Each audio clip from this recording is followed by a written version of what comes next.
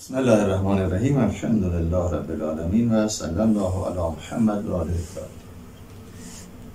پیام دیگری رو در امر آموزش و تبلیغ بهش بپردازیم و اون اینه که اگر قرار شد یک چیز خطرناکی رو از دست متربی بگیریم از او جدا بکنیم چیزی که براش مضر و آسیبزاست و جایگزین مناسب براش داشته باشیم.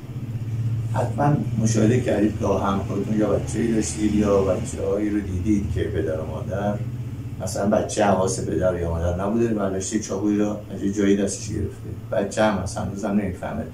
کوچولو هم مثلا ممکن اصلا بودو بودو کنه خدا نکرده بیفته و این چاقو بالای سرش بیاره.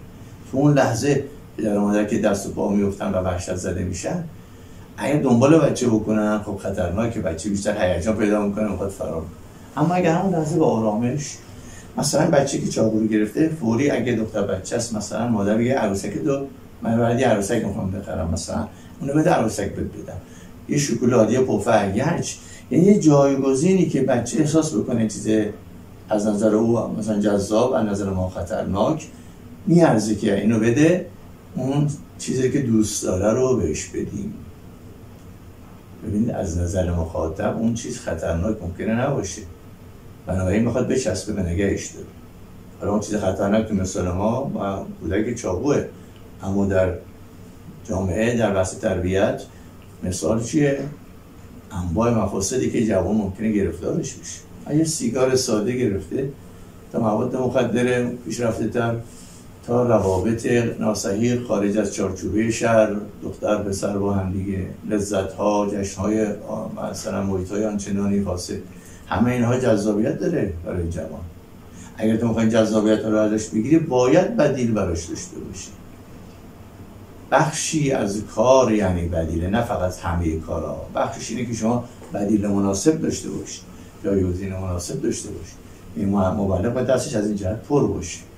تو این زمینه کار کرده باشه مثلا اگر او دنبال بحث شادی هست و شادی ها برای او جذاب شادی های از هر راه.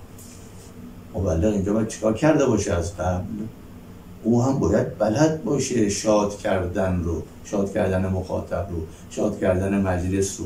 او هم باید بلد باشه شادی های جایگزینی که در دین معرفی شده اونها رو بشناسه و مخاطبش معرفی بکنه. نه جوان یا مثلا دینی که شما می‌خوای هم معرفی کنی یه دین محزون و دین و مثلا به درد نخوره. بعد این که من هستم نقد شاد شاد کیفم دارم. پس ما جایگزین ها رو هم باید بشناسیم و اون جایی که بتونیم این جایگزین ها رو به مخاطبمون معرفی بکنیم. وگرنه خیلی تاثیر جدی در بحث تبلیغ و اثر و بخشی نخواهیم داشت. البته این هم نیاز داره به آموزش نیاز داره به اشراف علمی که معلم و معلم داشته باشه. مثلا وقتی ما میگیم شادی در اسلام همجوری کلمه نیستش خودش نیاز داره به اینکه یک دوره آموزشی رو آشنا باشه باهاش گذرونده باشه یا خودش مطالعات و پژوهش کرده باشه تا بتونه با اون زیبایی هایی که دین تحت عنوان بخش شادیه در اسلام فقط حالا به معرفی کرده آشنا بشه و اینها رو هم به مخاطبش منتقل بکنه.